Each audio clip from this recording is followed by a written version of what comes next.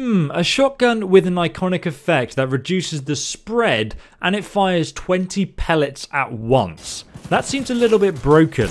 Let's break this weapon in today's Cyberpunk video. I'll be showing you how to obtain Judy's iconic shotgun weapon in Cyberpunk 2077 the Mox shotgun. You can do over 120,000 damage with this shotgun and I'll be showing you guys where to get it as well and how to build your character so you can do that yourself. Honestly, the build I've come up with for this shotgun is the funnest thing ever because it feels like you're playing Doom. You literally run around super fast and you do more damage based on how fast you're moving as well. So it's hilarious to use. However, it is definitely not the best shotgun in the game, but it does do enough damage to one hit kill everything in the game, so I guess that's not really a problem. At that point, I guess it's like, how cool do you think the shotgun looks? Pretty cool, right? You know what else would be pretty cool though, guys? Because half you watching my videos aren't actually subscribed yet. If you guys enjoy my content, please go ahead and subscribe. But the most important thing about this weapon is that it's one of the collectible iconic weapons that will show visually in your weapon room once you put it inside. And I'll be honest with you guys, this weapon is annoying to get, and it's different if you're playing male V or female V, as I'll explain right now. So to get Judy's shotgun for yourself, you must first finish all of Judy's side quests, which takes a while. Judy's side quests become available after the main quest, Automatic Love, where you save Evelyn and you take her back to Judy's apartment. A few days later, after this quest, Judy will call you and give you a new quest called Both Sides Now. After you finish that quest, she will call you up again and you'll have to do the side quest called X Factor. Once again for Judy. And then after you finish that, you'll get this side quest called Talking About a Revolution, which is a conversation that takes place in her apartment. After that quest, you'll get a quest called Pisces. And then finally, you will get the last quest called Pyramid Song, where you can finally romance Judy and she will give you the keys to her apartment as well which is where you'll need to go to pick up this iconic shotgun for yourself. Come here to Watson, where you're going to find Judy's apartment, specifically in this area of Kabuki. She's going to be just by the coast, over here at the Charter Street fast travel point. In case you've forgotten, I feel like you have to come back to this fast travel point so many times. But yeah, starting from the Charter Street fast travel point, Judy's apartment is just over there in the distance. So now you're going to go ahead inside. Now there's a slight change here. If you are playing on male V, you can actually claim the shotgun immediately. If you're playing on female V though, you'll have to do some extra steps. So firstly go ahead and open Judy's apartment. And this is the Mox iconic shotgun. It starts off at rare quality and we'll go over how good it is in a moment because to be honest it's kind of a very confused weapon in my opinion. But if you come here as female V, this weapon will not spawn for you yet. So to get the weapon to spawn, you need to head out and wait 24 hours and eventually you'll start getting text messages from Judy every few days. She'll send you a new message. It doesn't matter what you reply, just make sure that you stay in touch with her and respond. And then wait another 24 hours until she messages you again and do the same thing. Eventually, she will tell you that she has a gift waiting in her apartment on the kitchen counter. At this point, if you come back to her apartment, the shotgun will be waiting for you to pick up. Now, if you get confused about Judy's questline, I already did a full time-stamped walkthrough linked below with all the dialogue choices if you want to follow it. Now obviously the Mox shotgun starts off at rare quality so you want to upgrade it to legendary quality. However, very very important before you do so. Start out by upgrading it to epic quality and then before you upgrade it to legendary quality what you're going to want to do is exit out, save the game, make a new save and then go back into your inventory because what happens is every time you craft a weapon, it will get a random effect applied to it. The thermal damage, crit damage, bonus ricochet damage, burn chance, or headshot damage. So now let's go ahead and craft it to legendary quality. After you've crafted it, go to your inventory and check what the weapon has. So we didn't get what we want, so we're going to go ahead and reload our save and do this again. Now, a little trick you can also do instead of reloading is if you keep clicking the weapon, you'll see the DPS will actually change. So just carry on clicking it until the DPS changes to its maximum, which right now for me is its base of 959. So go ahead and craft that. We can see the weapon has a headshot damage multiplier of three times, which is pretty damn good. And by the way, if you get the weapon earlier than level 50, you can actually carry on upgrading it until the weapon reaches its max damage per second. Now the weapon is legendary quality though, we have four mod slots. So the next thing we need to do is go to Watson and we want to go to, well you can go to any gun shop really, but we're going to be going to this one, the weapon shop, which is right next to V's apartment just here. You can go to any weapon shop to actually use this technique though, but essentially you just want to run in here and we're going to look to buy a specific weapon mod. Just checking uh, so you either want to buy the crafting spec for crunch or the crunch mod itself. I recommend getting the crafting spec though for what i'm about to show you guys. So i'm going to go ahead and buy that.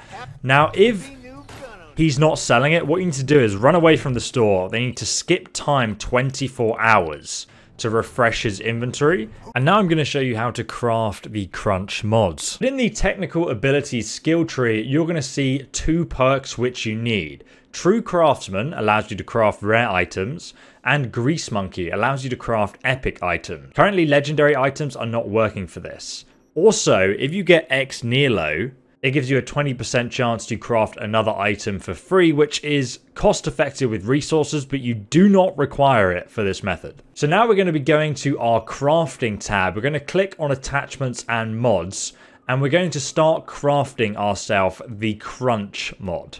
So we're going to craft a bunch of these.